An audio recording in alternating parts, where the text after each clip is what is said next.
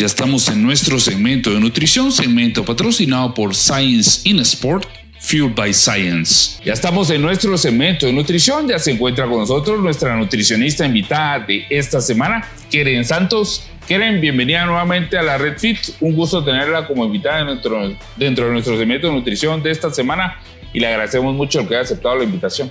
Gracias, Jorge. Para mí es un gusto estar aquí con ustedes. Muchas gracias, Keren. Esta semana vamos a estar platicando acerca de consejos para saber manejar y controlar el hambre, Keren. Claro. Pues empecemos hablando de los tiempos de comida, ¿verdad? Tenemos que hacer de cuatro a cinco tiempos de comida, organizar esos tiempos, ¿verdad? Eh, que sean las porciones que nos corresponden, ¿verdad? No dejar pasar más de tres o cuatro horas entre cada tiempo. Esto con el fin de acelerar nuestro metabolismo y también evitar episodios de ansiedad, atracones.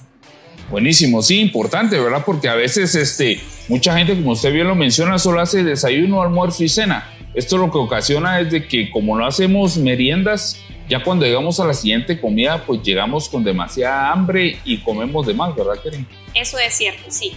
Por eso los intermedios, ¿verdad? Que sean eh, intermedios tal vez ligeros, pero pues que nos den saciedad para evitar esos, esos episodios de ansiedad y atracones, ¿verdad? Ok, buenísimo. El siguiente consejo que tenemos preparado por ahí, Keren. Bueno, pues que estas comidas que nosotros hacemos, por lo menos el desayuno, almuerzo y cena, sean completos en cuanto a todos los grupos de nutrientes, ¿verdad? Y pues que las, los intermedios, las refacciones, pues sean ligeras siempre, teniendo en cuenta de que tengan algún aporte proteico, porque esto nos brinda mayor saciedad.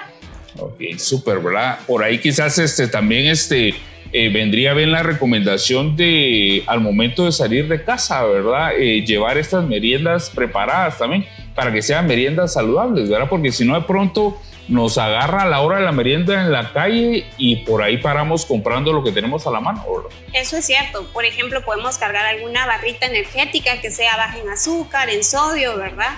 Y pues este, que no tenga mucha grasa también, alguna frutita para complementar eso sería una recomendación que podríamos manejar. Ok, buenísimo. ¿El siguiente consejo qué?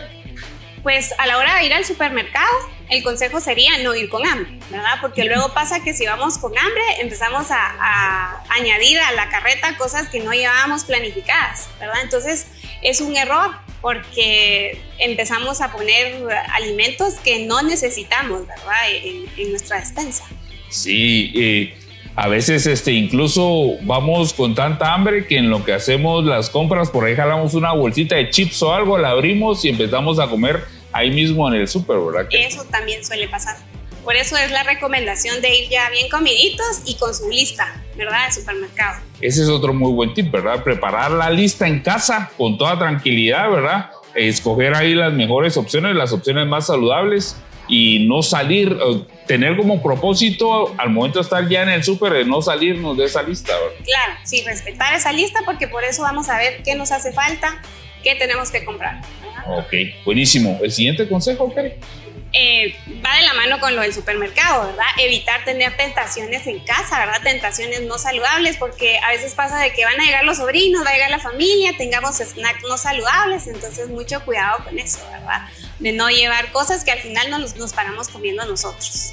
Sí, por ahí, por ahí también lo hemos mencionado anteriormente, ¿verdad? De que nosotros somos los responsables de la comida que llega a nuestra casa, ¿verdad? Por ahí cuando nosotros abrimos la despensa, pues este, deberíamos de tratar la manera de que solo tengamos eh, opciones este, saludables, saludables sí, ¿verdad? saludables. Ahora existe de todo, ¿verdad? Snack rico y saludable.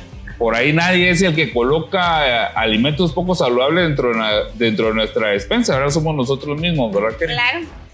Ajá, sí. Por ahí a veces eh, también surge la duda de, ok, tengo la tentación de un pastelito, un helado, ¿qué tan válido es eh, tomarse eh, o darse esos gustos de vez en cuando. De vez en cuando se puede, ¿verdad? Ahora pues existen recetas que son bajas en azúcar y muy deliciosas de un pastelito, un helado casero, o bueno, si lo compran pues también ya hay opciones, ¿verdad?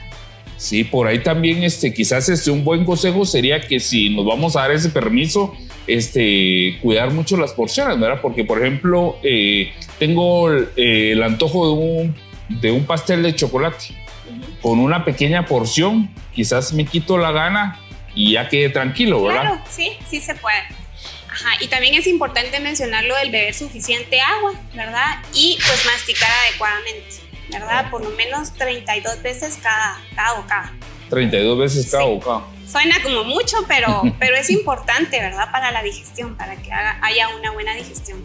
Sí, este es comer conscientemente también, ¿verdad, Karen? Porque eh, a veces este, comemos tan rápido que quizás este, ya, es, ya nos saciamos, ya no tenemos más hambre, y, pero por ahí este, la orden del cerebro no nos ha llegado y seguimos comiendo. Y ahí es cuando quedamos con esa sensación de llenura que no debería ser, ¿verdad? Claro, sí, a eso le llamamos nosotros hambre emocional, ¿va? que hay que controlarla, hay que manejarla bien, porque luego si no tenemos el cuidado, pues nos pasamos de lo que necesitamos. Sí, también de pronto que viene muy de la mano con este consejo que usted nos mencionaba, es el, al momento de sentarnos en la mesa a comer, tratar de dejar de lado las distracciones, ¿verdad? La computadora, el celular, la tele, porque a veces quizá le estamos prestando más atención a la computadora o la tele y solo estamos comiendo y no nos damos cuenta de lo que estamos comiendo. Sí, es evitar los distractores, ¿verdad? Para concentrarnos en nuestro plato. Así es. Buenísimo. Un gusto el haber estado compartiendo con usted el segmento de nutrición de esta semana. Keren, si nos pudiera recordar cómo la podemos encontrar en redes sociales para que las pongamos ahí en pantalla. Claro que sí, estoy como nutricionista Keren Santos en Facebook y también en Instagram. Nutricionista Keren Santos. Buenísimo, por ahí las vamos a estar colocando en pantalla. Fue un gusto el haber compartido nuevamente el segmento de nutrición con usted, Keren, y le agradecemos nuevamente al que haya aceptado la invitación. Gracias a ustedes. Este fue nuestro segmento de nutrición. Continuamos con más. Este fue nuestro segmento de nutrición, segmento patrocinado por Science in Sport, Fueled by Science.